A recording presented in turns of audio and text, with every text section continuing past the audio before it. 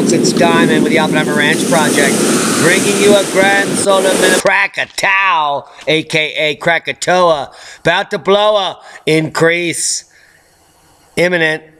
Ooh, look at the black ghost that just came out there. That was fascinating. You. It's taken us six hours to get this video together. We've had connectivity issues, and we're back online, folks. Keep calm. It's boom time. Loveland Pass remains closed after snowslide. That's Colorado, kids, and that's a landslide of snow. Crews needed daylight to work. Loveland Pass remained closed Thursday morning due to a snowslide the previous night. Authorities with the Colorado State Patrol said they were totally fluxed with snow. Ho ho, Christmas is right around the corner. There's so much snow piled up in Greensboro, North Carolina. Crews are relocating it. The city has relocated snow in the past snowfalls, but this is the first time it has had to move this much. Especially because of how long it's stuck around. Now, think about that. It's not even winter in the United States. Yes. That's over a week away. And the city has relocated snow in past snowfalls but this is the first time it's had to move this much because of how long it's stuck around. There is still so much snow around the city. Crews have started moving it out. First, the city assesses intersections where snow is piled up too high and blocking sight lines. Next, loaders dump the snow into crew trucks, which then move the snow to a service facility located on Patton Avenue. And it is the first time ever that Greensboro had to do that. Snow causes headaches for the capital region. This is up in the Adirondacks in New York State. Crashes, spinouts, there were even landslides in this area. Heads up, Adirondacks. More snow coming. We'll get to the models. National Weather Service issues a snow alert today. Yeah, this was in Connecticut and Massachusetts. A period of light snow got people bumming. Look at this guy. He's like, I cannot believe I'm a slave. I can't believe it. Boom! Get out of Dodge. Keep calm though, it's boom time. Stop being a slave. Likely El Nino winter could mean more snow for San Antonio. Yeah. Isn't that in Texas? San Antonio can expect warmer nights, cooler days, and more rain, possibly more snow than normal. And I'm going to share you a map that was created by a friend of mine, geologist, that's going to blow your mind tomorrow when we're working with less problems. But likely El Nino winter will be more snow for Texas. Snow joke Prince George's County family builds a 21 foot tall snowman. And this is no joke. Take a look at the scaffolding. These are the lower two levels. Look at these kids. They rock. Jason Smith told CBS 6 in Richmond that members of his family first tried to beat each other by building the largest snowman. However, after a while, their passion morphed into a team project with the goal building the biggest snowman in world history in Prince George's County. And they might have nailed it. This 21 foot behemoth is pretty awesome, even though we're never going to watch the video. Sorry, it's getting late. Snowfall turns south central into winter wonderland. Alaska, it's finally there. This is in Alaska, and they're happy because it hasn't been snowing there. The nonstop snow for nearly 48 hours was thanks to a stalled out low pressure system. It tracked into the region early this week, first moving into Prince William Sound, and the storm moved back north and west and settled right over Anchorage. So we had a direct tap of moisture, and winds gave us heavy snowfall late Wednesday into Thursday. They were loving it. So even during grand minimas, when the warm Pacific air keeps the corridor ice free, it still snows. Ho hos. And they're quite happy about it. 14 inches in the upper hillside, 11 in Chester Creek, 7 in Richardson, 8 in Anchorage. There you go, Alaska. It's winter, but it's not winter yet. now, with this new system moving across west to east, there is flooding possible. This guy is concerned. Take a look at him. Look how concerned he is. He looks, I mean, that's pretty concerned. Heavy band through St. Louis down, approaching those snow areas. Flooding possible with rain melting and snow Friday. Get ready, flooding rains are on the way. Greensboro, North Kakalaki. We've been dealing with snow all week. Now it's time to deal with rain, which means flooding, flash flooding, clogged storm drains, and nightmares. A big amount is on the way. With rapidly melting snow, that means flooding is likely Friday and Saturday in the triad. Heads up. Meteorologist Tim Buckley, one to two inches of rain is likely, up to three inches possible in some regions. Snow melts, adding significant water to already waterlogged areas. Snowpack and clogged drains, increased flood risk. It's as if I just predicted that. I wonder if the KP is at zero. Yes, it just was. Okay, great. That makes sense. We'll get to the models. Friday flooding. Hey, all, please spread the word here. Lots of rain on the way for Friday into Saturday. Do not drive through the flooded out rivers. You will be washed away. Sincerely, meteorologist Tim Buckley. That's today, folks. He's serious. He, it's quoted. Thank you, Tim. You're a mother bucker. We love you.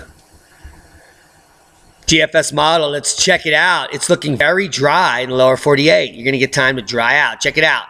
But not before Texas gets a little bit hit in the middle in the morning tomorrow.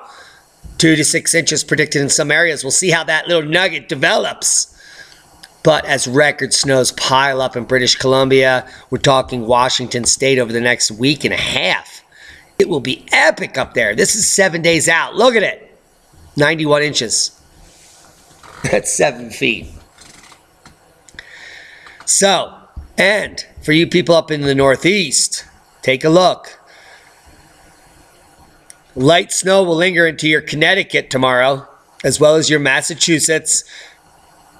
And then light up the state. And then through your weekend into Tuesday, you're going to have a good dousing. So there'll be nice snows up throughout New York State, Vermont, New Hampshire, and Maine. Heavy snows in Maine by midweek. And these models will change, but we have another southern storm tracking down all the way down in North Carolina. And this is already with snow tracking all the way down here to 25 north. That is far down there, folks, and it's not winter.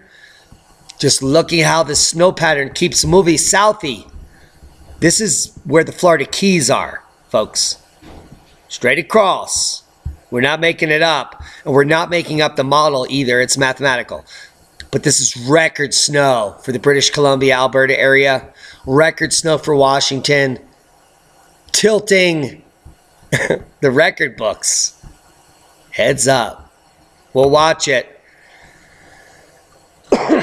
Heavy to excessive rain for southeast and mid Atlantic into the weekend. High winds in the Pacific Northwest Friday. Another southern storm will bring heavy to excessive rainfall with the risk of severe thunderstorms from the central Gulf Coast to the southeast Friday. This heavy rain will then spread across the mid Atlantic region late Friday into the weekend, and a strong cold front will move into the Pacific Northwest and dump possibly not only damaging winds, but damaging depths of that global warming goodness that's white that we call snow. Ho, ho, ho. Snow don't blow if you have a shovel. North Shore Mountains celebrating massive dump. We're in Canada now, folks, and it's Olympic. Snow conditions at Mount Cypress today are epic. The latest Pacific storm to hit the south coast has made for miserable commutes and flooding in the lower mainland, but up on the ski hills is nothing but smiles. Ear to ear. All three North Shore mountains have seen significant dumps of snow since the system blew in. As predicted, we nailed it. Cypress Mountain saw 48 centimeters over the last 48 hours. If you do the math, that's one centimeter per hour. Holy crap, that's barely any snow. While Grouse saw 40 centimeters in the same period. Looking like winter on the mountain this morning. We've had 36 centimeters of new snow in the past 24 hours, and it's still coming town. Hashtag all the snow. Hashtag Grouse Mountain. Hashtag Al Gore's a fraud. Hashtag your children will never see snow, except now it's record snow. But it's not snow. Nothing to see here. Both mountains were claiming because of global warming it would all be ruined and it's never going to ski there ever but they're very excited to see all the snow on the ground 42 centimeters in 24 hours, 55 centimeters in the last two days. Hey, Hayes. Historically, the opening date is mid December, and they're ready. With record snows, the big dump will no doubt come as a relief as local mountains had bought into the global warming nonsense. Yes. And now they're going to blame record snows on global warming, so they will relish in the global warming goodness. And that is a boom of misinformation. You don't even know what to believe. Damaging windstorm, heavy rain, and snow targeting British Columbia. The biggest storm of the season so far, set to slam into British Columbia, will come on Friday. Bigger than the one that just brought over a centimeter an hour for two days. So we've just seen four feet of snow in many areas, and this one's bigger widespread potential for damaging winds, along with a hefty helping of snow and rain. 7 to 10 feet predicted. Warnings for wind and rain are in effect for much of the south coast, Vancouver Island, as well as Washington State. But the National Weather Service hasn't issued any warnings yet because they're frauds. By the end of the weekend, we'll be talking about upwards of 100 millimeters of rain for some parts of British Columbia, 100 centimeters of snow for the Alpine, and winds gusting more than 100 kilometers an hour. A trifecta of winter nightmare. And that is a winter nightmare boom. Let's just move the square. Okay. Whew. Glad we got out of that one. oh, let's move this. Guys, I'm sorry this went so late, but I've been working for hours to get this to you, so we are on the same team.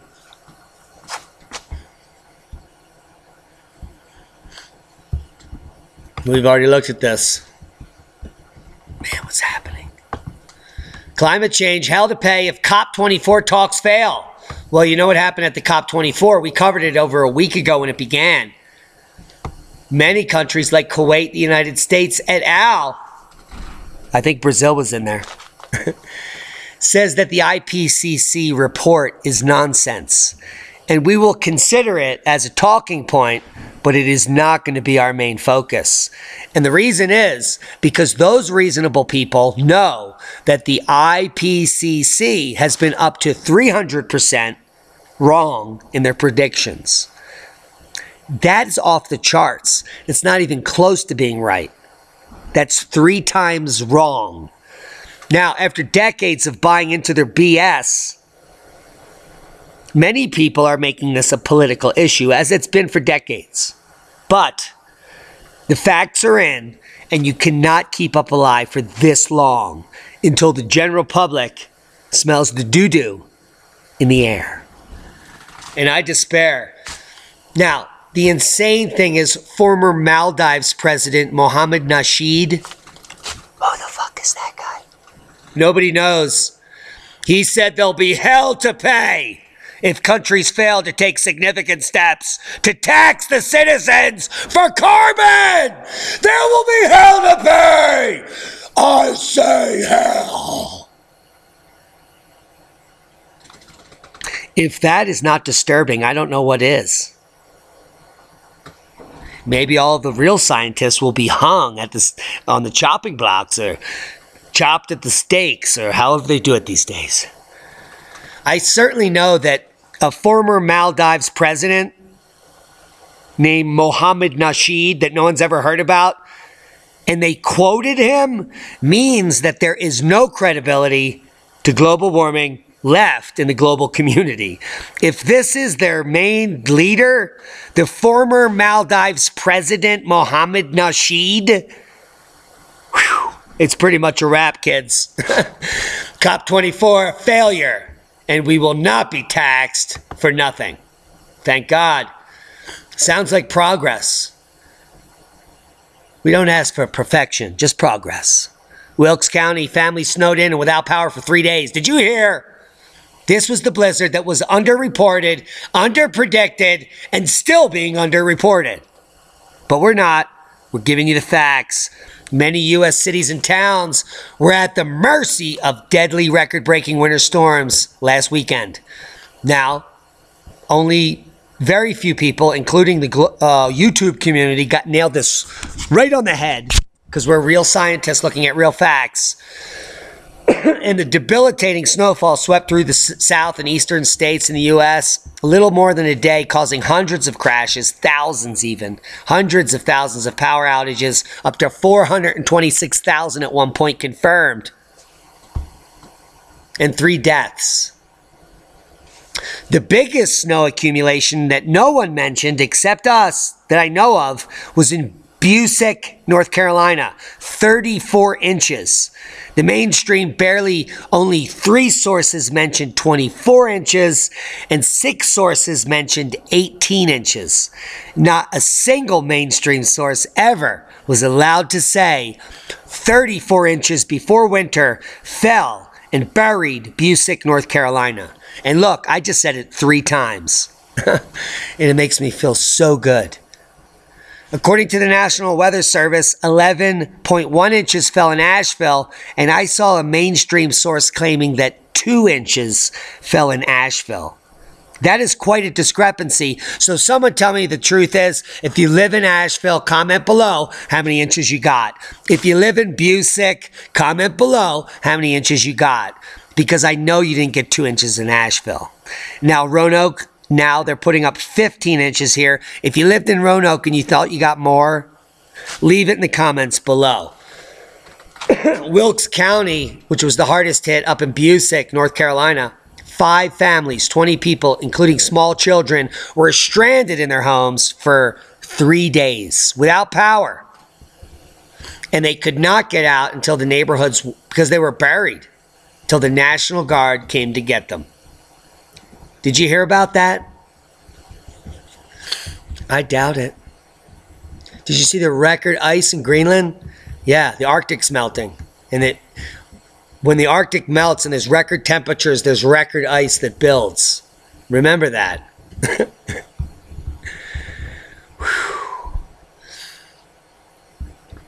the death of Sunspot Cycle 24. Now, this is coming from Energy Matters. And they're simply making a simple comparison with the death of Sunspot Cycle 23. And you're looking at pic- pictures of the death of Sunspot or Sun Cycle 23. Here are pictures from 2010 where huge snow in the Alps were deposited. Eight meters and they're pointing out that that was here at the solar minimum of 23. And now we're going into here, and similar effects are taking place.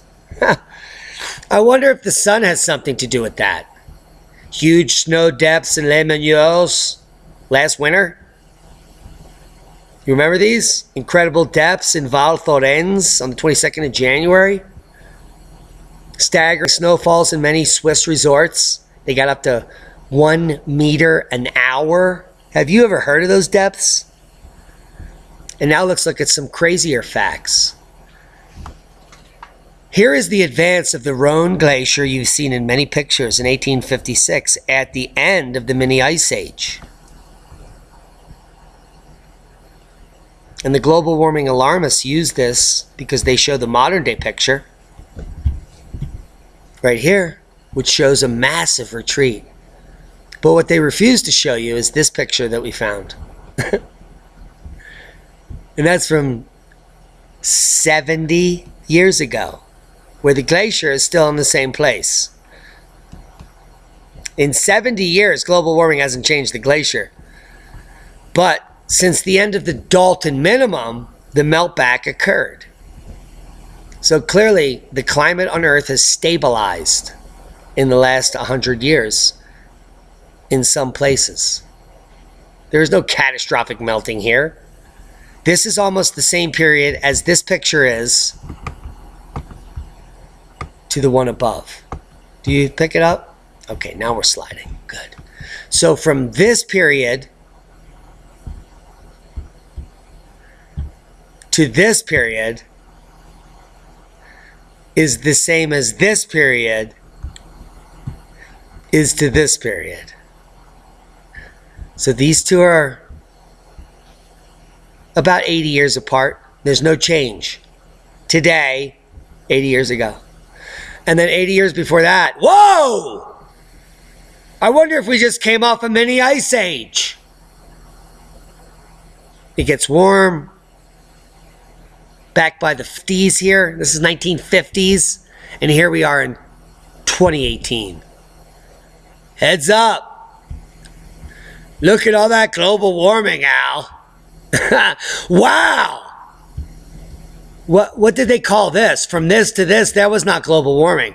That was just called extreme melting of glaciers. Prior to global prior to global warming, you got that. And now global warming is that. Global warming. And then this is normal. This is normal melt here. This is man-made.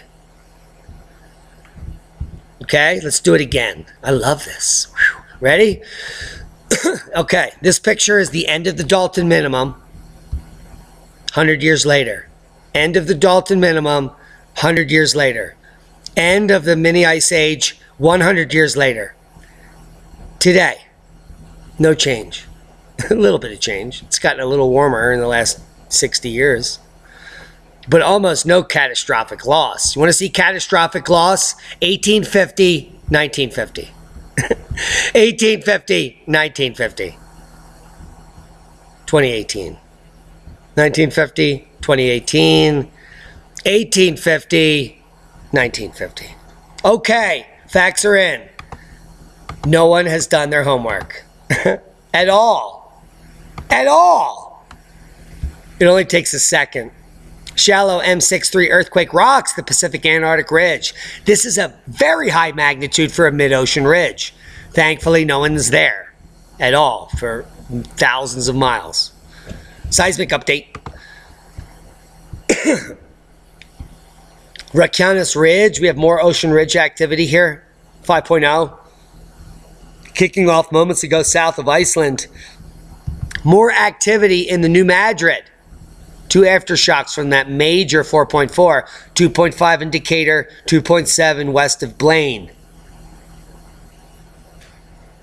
We also have an anomalous quake in Stapleton, Nebraska that has been repeating and is probably frac related.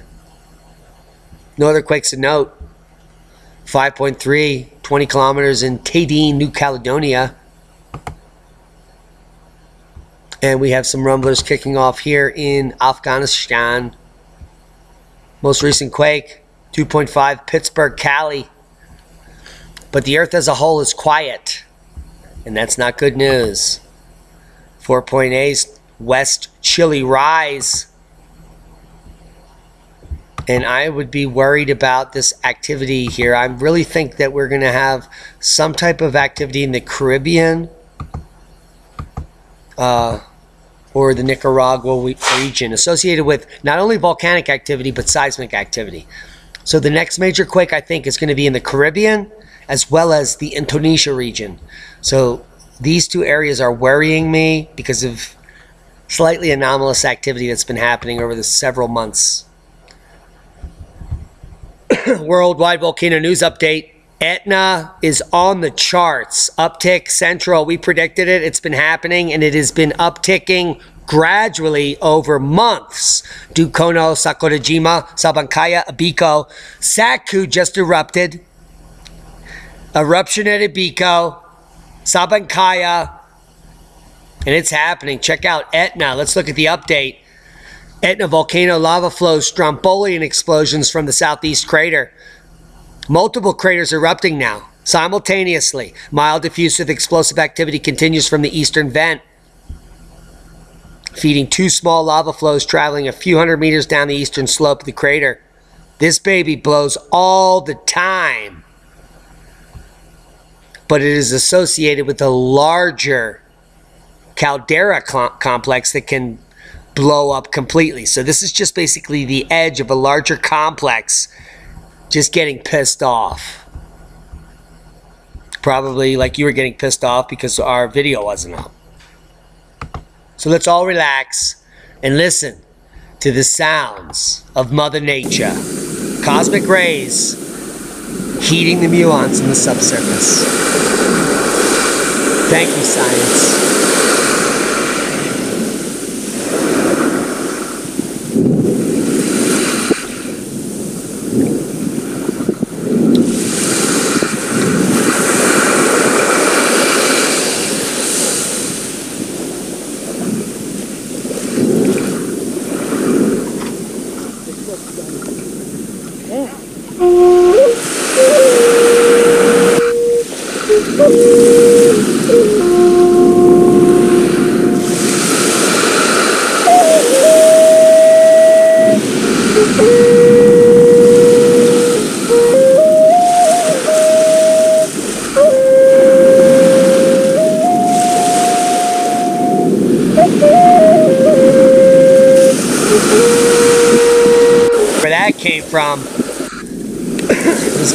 Thumbs up here. Give him a thumbs up. Subscribe to the channel. This is Volcano Discovery. And tell them Diamond sent you and say thank you. This footage is amazing. A-M-A-N-G-A. And that's a boom. Do it. They only have 14K. They should have more subscribers than we do. They work very hard at Volcano Discovery. Give them props. Hook them up. Estimated planetary K index. Let's update it, see what happens. We've had cosmic ray warnings for most of the last 24 hours. And we've luckily come up off the deck. So if you felt weird the, yesterday or all day today,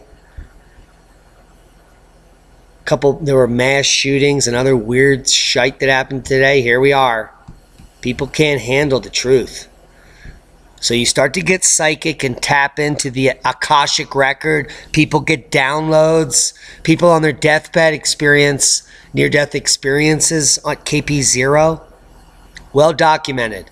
Look back in our previous videos where you can get that freedom of information act from the cia where they disclose what happens at KP0.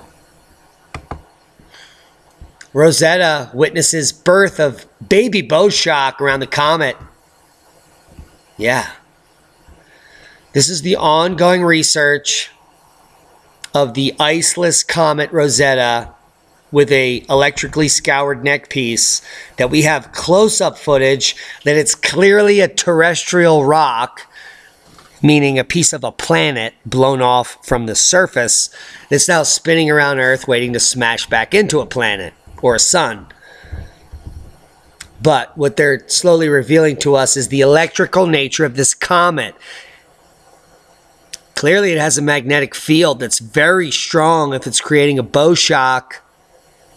Magnetic fields are typically in space electromagnetic. Are you picking it up? I think NASA's sniffing it and they know they can't avoid it. So they're putting it down. Comet 67P. Churyumov Gevchenko. 67P is what everyone calls it. Clearly has a bow shock. And if you come down here to the bottom, you're going to see that back in 2016, they found a magnetic field free bubble at the comet. Huh. I wonder if it's an electromagnet. Boom! These frauds. They're like decades behind the obvious. You know what's even more obvious? Go the, outside right now and look up. Look southeast. Geminid meteor showers peaking tonight, one of the best streams in years. And you know how I know? I was just out there. Because I got really PO'd at four hours of wasted time because of my connectivity. I've been trying to make this video all night.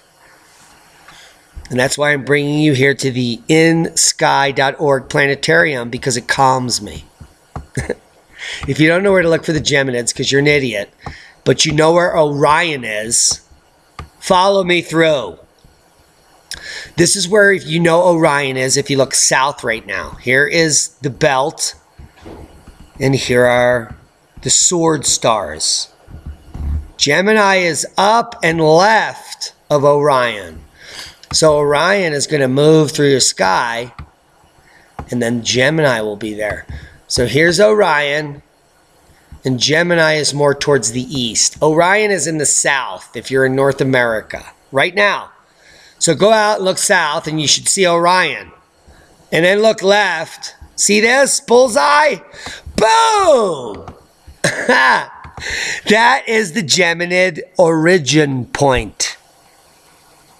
Yeah, and so the meteorites come out of here like pew, pew, pew, pew, pew, pew, because there is literally a cylindrical stream of debris that is entering Earth's ionosphere at that point, discharging above the stratosphere electrically before it hits the surface, thankfully, because these are little tiny chunks. Not like the Taurids, which are about to light us up any day now. so go out. If you can find Orion, there it is. If you don't know what I'm talking about, then you're completely lost. So here's the belt, the sword. This is the Orion. Up here near Castor. See, this is Castor and Pollux of Gemini, in case you didn't know. Alhena but you want to look near Castor, just up and right, and the meteorites will go pew, pew, pew, pew, right out of here. That's about the best I can do for you. Are you ready? Not for the Geminids. They're just a fun light show. Are you ready for the grid down scenario in the near future? I set up the ham radio section of our preparedness store. Best ham radios available on the market. If you want to buy some, a friend something, how about buying them worldwide communication when the grid's down? This will only work if you have solar backup or generators, but you'll be able to communicate with those that have communication. Because when the grid goes down, if it goes down worldwide at some point, we're going to be communicating because we're going to be organizing and we're going to be sharing information worldwide. Top of the line models. Um, if you're looking for a entry level ham kit right here in the middle. Five star ICOM IC 718. Get on the air ham bundle. If you're looking for all the parts, trying to figure out what works together, and you don't know what to do, it's all here with instructions. It's quite pricey at $1,200. I agree. But that's a real ham radio setup and the lowest you can get in at the top is the highest end price. if you want a high end portable model, 317 the Yaesu original FT 7900R amateur radio, dual band, 144 440 megahertz transceiver, 5045 watt. Very limited. There's your band. Very limited. And if you want a smaller, limited structure here, so here's the top end. Digital interface, the ICOM Deluxe 14440, a little bit larger band, amateur mobile transceiver with touchscreen. It's about 450. So it's a little larger width. But you can get away pretty cheap here. And here we have the CC Crane CCE radio 2E enhanced portable AM FM weather radio, multi-band, 2 meter ham band, black CCBE radio. So you can listen in on the communications for 169 to all the people talking around the world when an event happens. And for 73 bucks, you're in. Let's click on it. Come on. There's much cheaper products here, but this is the Tall Coupe 25 to 20 watt UHF Viet mobile radio, mini car amateur radio, free programming cable, NCD. So you can use this as a central hub for your walkie-talkie station. And it'll get you into learning a little bit about shortwave. For 58 bucks, a five pack of the Baofeng BS888 portable handheld two-way ham radios. And I believe that this is a nice little portable shortwave radio. Two-way transceiver, dual band, 136, 174, 400, 520 megahertz power, two-way. So lots of good products in here. Check it out. If you're into shortwave, FM, ham, the store is keeps blinking. It's really annoying. uh, there's introductory books Here's a Quansheng URV 50 second gen dual two band weight radio with two antennas. These are programmable hams, walkie talkies for 29 bucks. Are you kidding me? Do some homework. If you don't know what I'm talking about, get a little book here on amateur radio. I also have The World of Ham from 1901 to 1950. You can get a subscription to Amateur Radio magazine and the ham radio guide for dummies 17 bucks delivered. Welcome to christmas. 188 bucks for a remote ham radio. 132 from prime delivered. There's hundreds of options here president ronald 10 meter amateur ham 131 do it i'm done volcanoes are exploding as predicted you've been informed I apologize for being late. Secret Valley has been funded. If you didn't reply, you can visit. Be safe.